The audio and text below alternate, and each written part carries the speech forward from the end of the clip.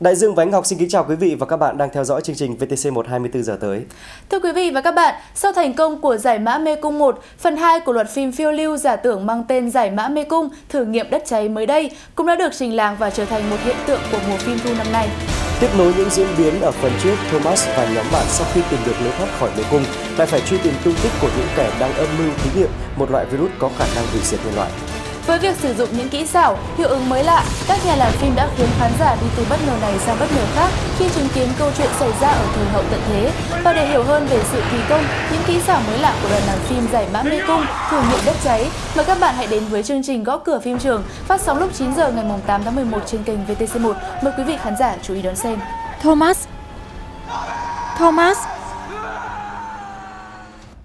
Thưa quý vị và các bạn, phong trào đấu tranh đòi quyền bình đẳng của người đồng tính đã đạt được nhiều bước tiến quan trọng. Ở một số nước thì hôn nhân của người đồng tính cũng đã được pháp luật công nhận.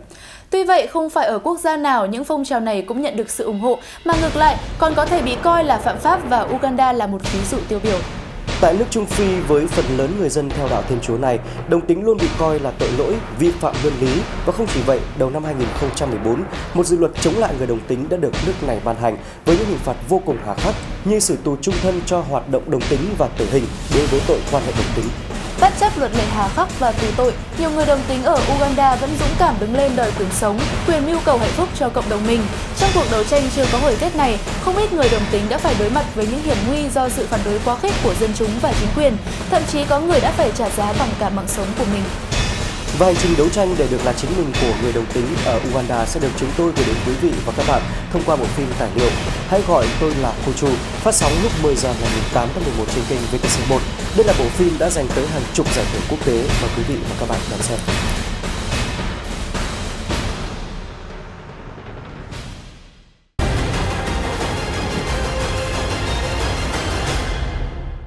Tục là những diễn biến đầy gay cấn trong bộ phim Hàn Quốc Lừa hận tình thù trên kênh VTC1.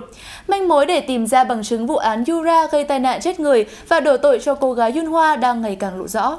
Với việc tiếp cận cảnh sát đính chất Park Chan-du và răng bẫy để anh ta nhận hối lộ, Jun Jae và Thaim đã khiến anh này bị dồn vào con đường cùng và phải tẩu tán những bằng chứng quan trọng nhất trong vụ án gây tai nạn chết người cho Jun Hye hơn 5 năm về trước. Tuy vậy vào phút cuối, Taim đã bỏ lỡ cơ hội có được bằng chứng này khi Park Chan-du nhanh tay vứt bỏ trước khi bị anh bắt đi. Trước những đòn roi của Taim, liệu Park Chan-du có chịu giao lại bằng chứng chết người này và phản bội lại Yura và thẩm phán Choi In-suk? Bên cạnh đó, kế hoạch đưa thẩm phán Choi In-suk thành nghị viên quốc hội của Jun Hoa sẽ tiếp tục diễn biến như thế nào? Cô sẽ vô tình gặp lại cậu con trai của mình ra sao? Câu trả lời sẽ có trong tập 71 bộ phim Lửa hận tình thù, phát sóng lúc 11 giờ 30 phút ngày 8 tháng 11 trên kênh VTC1. Mời quý vị và các bạn chú ý đón xem.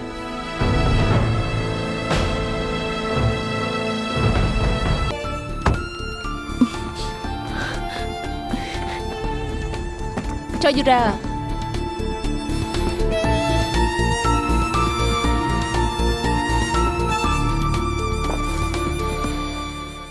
Trong khi đó, ở bộ phim Phong hỏa giai nhân trên kênh VTC1, không chỉ vô tình giết chết mẹ nuôi, Lê Thiệu Phong còn bị tướng thẩm chi bồi lật tẩy chiêu trò bắt cá hai tay, vừa làm việc cho ông xong lại ngấm ngầm bắt tay với người Nhật để mưu đồ phế chuất ông về sau. Tuy nhiên thì rất may cho Thiệu Phong là đã có Châu Đình Sâm đứng ra cứu mạng. Người đã từng cứu Thiệu Phong bao lần này vẫn chưa hề biết được bản chất thật của người huynh đệ của mình. Dù đã bị tướng thẩm chi bồi tước hết quân tịch, song Lê Thiệu Phong vẫn còn có người Nhật để dựa dẫm. Đặc biệt anh ta vẫn còn có thể tiếp cận Đỗ Nhược Hoa để trở thành con rể của nhà tư bản giàu có bậc nhất đất Thượng Hải.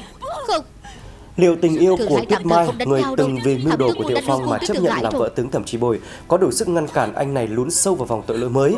Thượng Hải sẽ trở nên rối loạn như thế nào khi chiến tranh bắt đầu nổ ra? Tất cả sẽ có trong tập 38 bộ phim Phong hỏa gia nhân, phát sóng lúc 12 giờ 30 phút ngày 8 tháng 11 trên kênh VTC1. Em cầu xin anh Em xin anh Em không thể nhìn thấy anh đối đầu với tướng quân nữa Em không đủ sức để chống đối ông ấy. Em đã mất mẹ rồi.